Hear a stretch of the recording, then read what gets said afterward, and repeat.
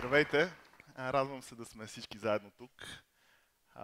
От вас много от, от публиката са приятели и се познаваме и отпреди. Но задачата за моята презентация тази а, днеска е да видим как може да подигнем стандарта на живот в България. Току-що мина политическата кампания, всички хора обещаваха как ще станем по-богати, но аз искам да вникнем малко по-навътре в тази история, как всъщност това се случва в света, как това се случва и как може да се случи в България. И така, в търсене на стратегия за по-висок стандарт на живот. Ето как изглежда българската економика в последните 10 години.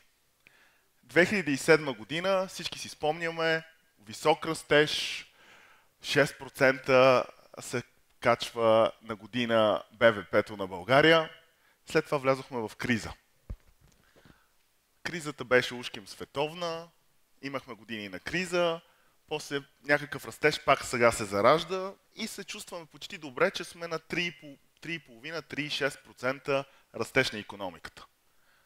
Ако така погледнем тая графика, виждаме една цикличност, която си върви по някакъв принцип.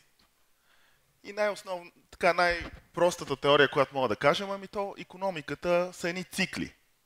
Има моменти на оживяване, моменти на експанзия, свиване, рецесия. Те си естествени цикли и трябва човек да си ги изчака. Ако си в зимата, както тук съм сложил като сезони в рецесията, стоиш и знаеш, че следващия цикъл пак ще дойде. Ако вярваме на този тип модели, нищо не трябва да правим. Трябва само сме търпеливи. Когато е рецесия, чакаме, когато е експанзия, се радваме, но знаем, че следващата рецесия пак ще дойде. Дали обаче така? Да погледнем малко в економиката на България. Това са статистики. Това е нашето търго... търговско салдо.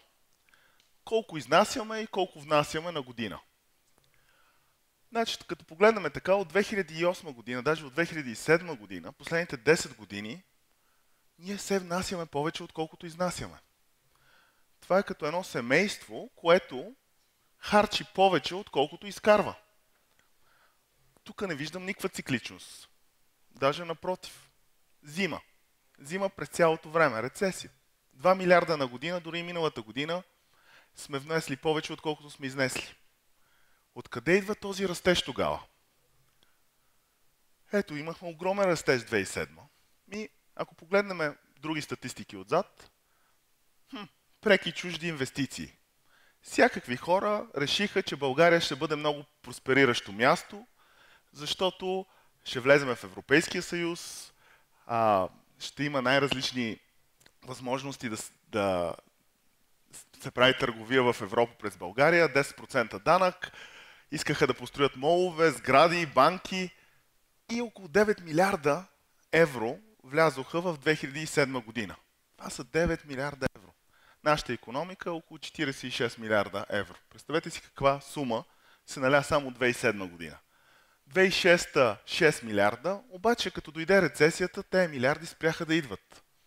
Хората видяха, че май в Европейския съюз сме вече, ама не се случват някои от нещата, които всички се надявахме, може би да се случат. И миналата година имахме само 700 милиона преки чужди инвестиции. Добре, това обясни всъщност този пик, но какво се случва? В момента растеме с 3%, 3% и половина. Нещо друго трябва да движи економиката. Явно не изнасяме повече, отколкото внасяме. Чуждите пари свършиха. От някъде трябва да идва. Една друга графика, която много не се говори за нея, но това е нашия държавен дълг. Последните 5 години е пораснал двойно. Това са едни пари, които се наляха през държавата, през обществени поръчки и те влизат в економиката.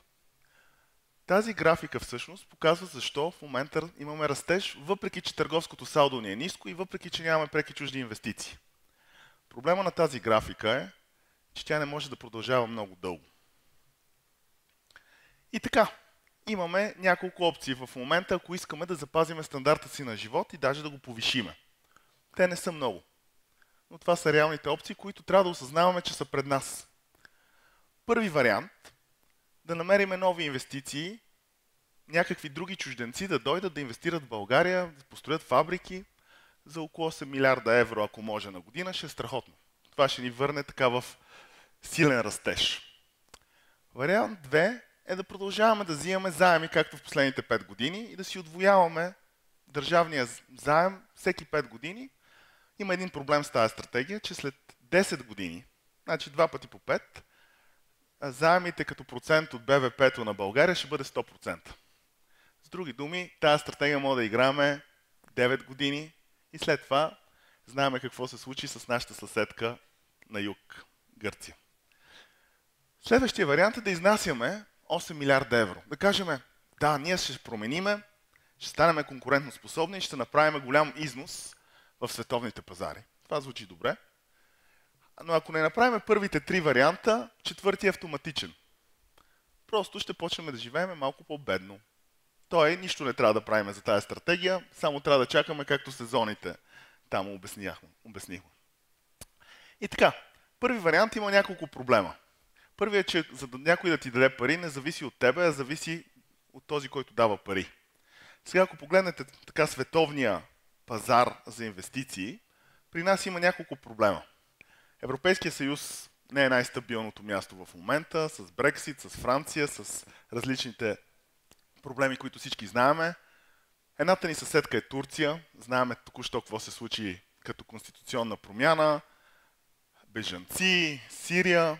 Гърция е другата ни съседка. Въпреки, че не се говори много за нея, те не са си платили парите.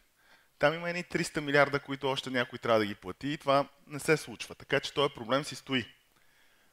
Русия, Путин, Трамп, геополитиката се размести, така че Източна Европа се качи риска и чисто геополитически. Така че ако имате няколко десетки милиона или 100 милиона и трябва да ги инвестирате някъде по света, може би няма да ви е първи избор тук. Вариант 2, както казах, до 10 години сме на 100% от БВП-то сме с заеми. Реалност, ако особено пък направим още едно КТБ история, ще стане и по-бързо. Вариант 3, както казах, това звучи може би най-добре, да почнем да изнасяме и вариант 4, ако нищо не се случи, почва да ни пада стандарта на живот. Какво означава да почнем да изнасяме 8 милиарда? Първо трябва да видим как изглеждат нашите компании. Това са всички фирми на България. Ние направихме едно проучване, всички 400 хиляди компании в България, които съществуват, оценихме колко от тях могат да изнасят. И какво видяхме? Че около 14% от компаниите в България имат експортен потенциал. Другите са главно за вътрешно потребление и вътрешния пазар. Какъв е проблема с вътрешния пазар? Е, че като едно семейство, което а, си продава един на друг. Бащата на майката, майката на детето, обаче външни пари не влизат.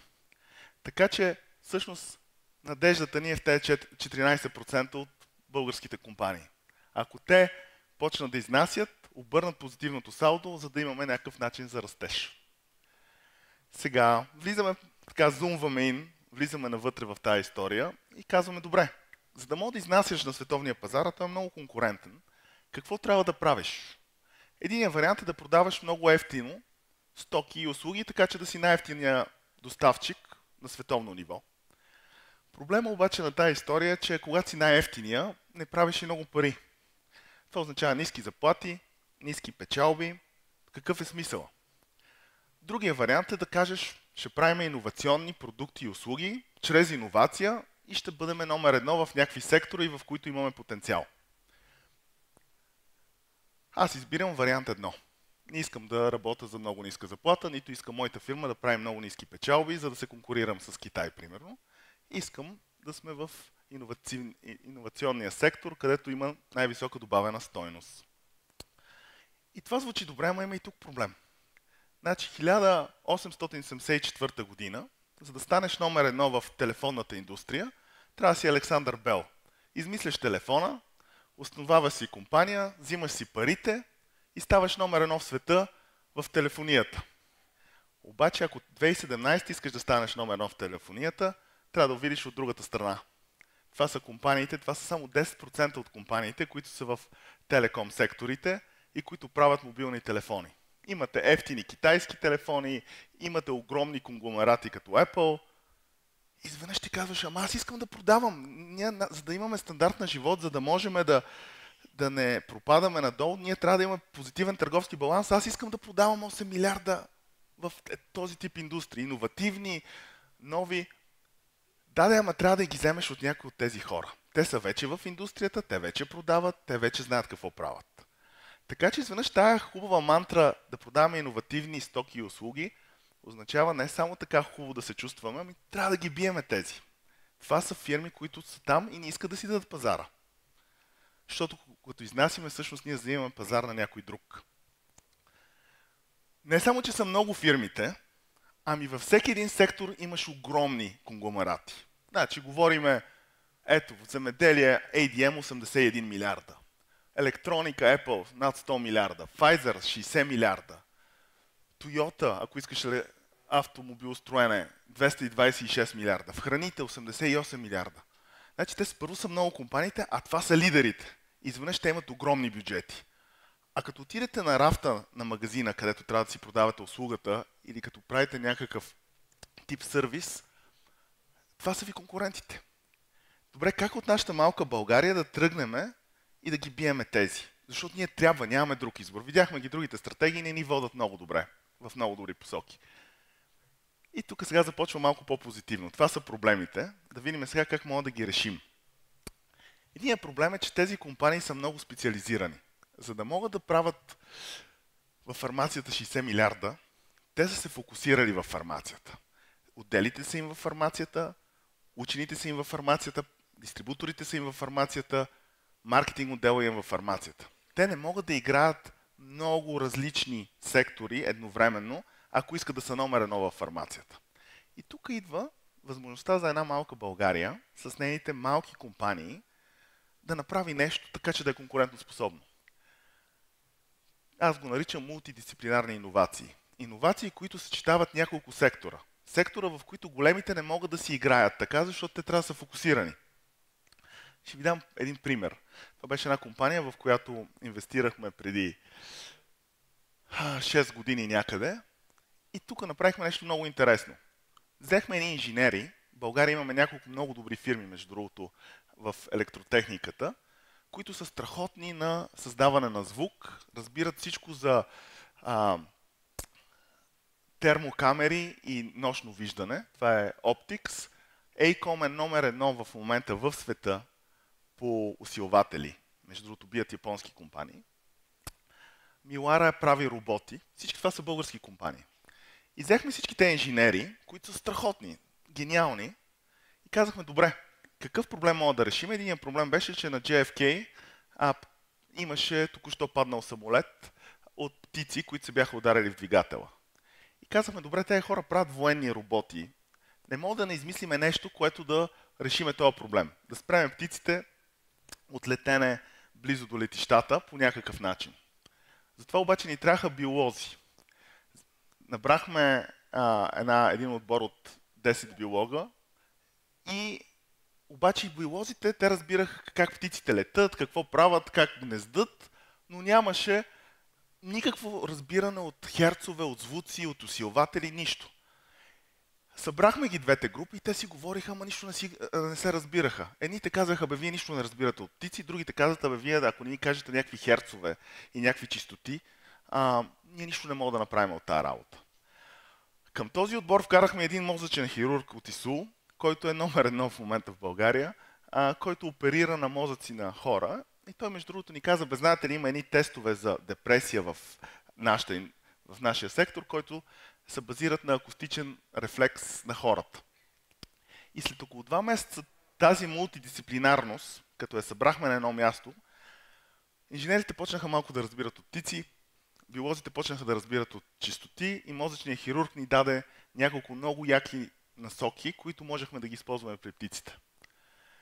И се създаде първата в света, на патента е в Штатите, система, която прави така, че птиците не само да не идват към летището, ами да, като дойдат и изпитат това нещо, което им се случва, без да ги нарани, да не се връщат обратно.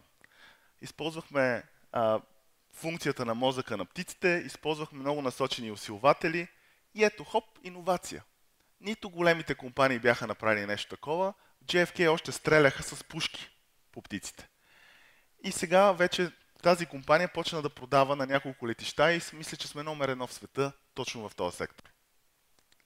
Ето тук как работи системата. Всъщност тя прави една преграда точно около пистите, които всъщност където има най-много удари на птици, това вече не се случва. Така изглежда системата, която се прави между другото в божурище. Така че е възможно. Това се прави в божурище и никой в света не може да го направи по този начин за сега. Сега, това звучи много...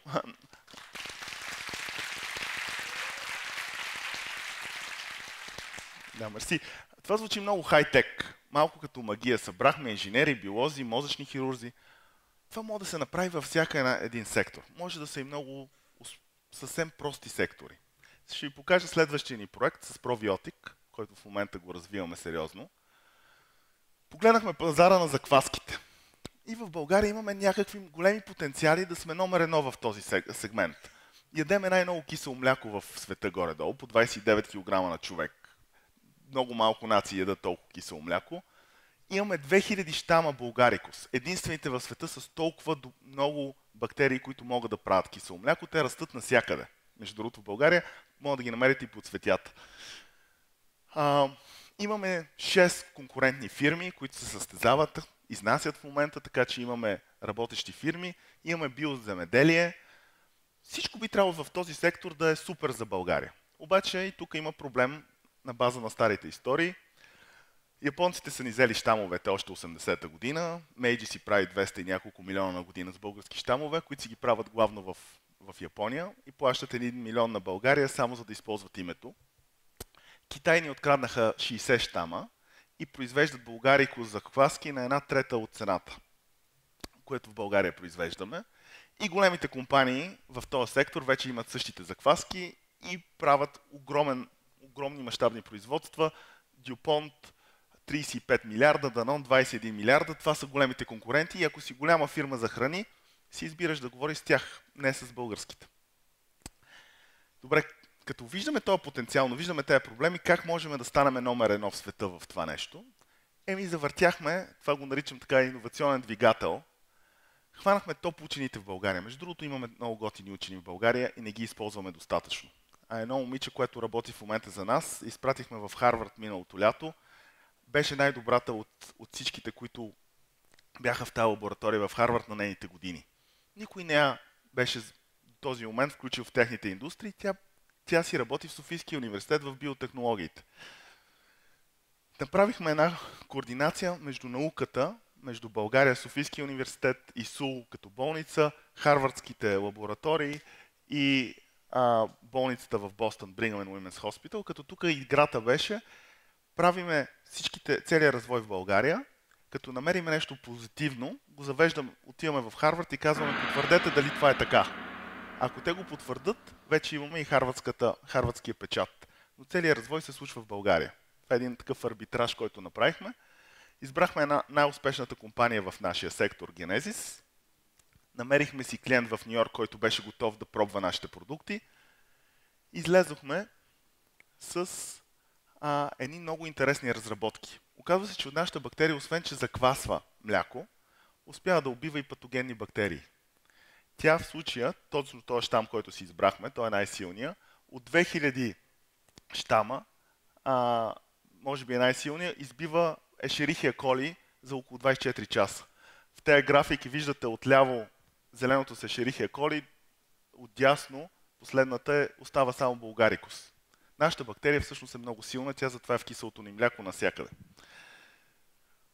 Решихме, това е малко по-гадна картинка, но тази сила на, на Булгарикуса се оказа, че може да избива хеликобактер пилори. Това е бактерията, която прави язви. Интересното за тази бактерия е, че 60%, между 60 и 80% от хората по света имат, включително България, и не знаят, че имат. Когато ти падне имунитета, а, шанса да се създаде язва е голям. До този момент се лекува само с антибиотични терапии. Почнахме клинични изследвания на нашия булгарикус. Вместо да заквасваме кисело мляко, почнахме да го даваме в болници да пробваме дали може да убиваме бактерията, която прави язва и се оказа, че на 92% от пациентите това се, това, това се случва. И в момента правим голям развой. А, взехме си а, към учен, а, учените, които работят с нас и Нобеловия лауреат за медицина от 2005, човека, който е открил хеликобактер пилори, той се заинтересува от ресърча и той почна да работи с малката българска компания. Това е невероятен шанс за нас, но и за, и за него. Защото ние всъщност направихме една иновация от киселото ни мляко в абсолютно друга посока. Почнахме да я растеме место на мляко, да я растеме в морковен сок, за да бъде биовеган, да използваме още един тренд в Нью Йорк. И някои от резултатите, първите ни продукти излязоха. Вече сме в 4000 аптеки в, в а, Штатите, в Англия сме, в Франция. Сега се опитваме да влеземе и в Япония. Wall Street Journal писа за нас, а, като някакъв така иновативен продукт, който излезе от никъде, а, но почва да побеждава световните пазари. Опра също. А, Джокович, последния US Open, беше само на пробиотик. А, и добре се представи, беше номер две. А, така че супер топ звезди а, почнаха да го, а, да го използват. И всъщност това ми е една от заключителните слайдове. Какво, за какво ви го разказвам всичко това? Ако се върнем от началото на, на цялата презентация, това са уроците, които аз лично съм си извлякал от, от това, което съм видял. Не мога да разчитаме на чуждите пари за сега. Преки чужди инвестиции не. Второ, а, не можем да продължаваме да взимаме заеми, за да си подкрепяме економиката. Това е, ще ни заведе много, близо, много бързо до голям проблем. Трябва да почнем да изнасяме много. Трябва да си се фокусираме в местата, където сме силни. За да може да изнасяме много, трябва да работиме с българските учени и с световни учени. Не можем да измисляме иновации без да има наука. За да има иновации, които имат някакъв шанс да се преборят с световните а, лидери, трябва да са мултидисциплинарни. Не можем да играеме срещу Apple и срещу Pfizer, трябва да играеме между тях. И последната точка нямаме време. Всяка година, която това не го правиме, е година загубена и година, следващата година ще е малко по-трудно това да се постигне. Така че това е постижимата цел. 6% да растеме економиката, но не на база заеми, а на база на 2 милиарда на година позитивен търговски баланс. Благодаря ви.